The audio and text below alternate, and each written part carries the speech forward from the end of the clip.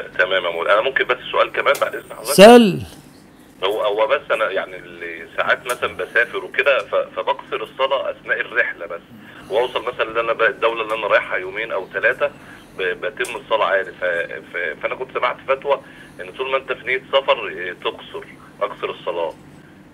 ف يعني اعمل. إيه؟ اللي أنا بعمله ده صح صح؟ بس الأصح منه أن تقصر. آه، المده قد إيه القصر؟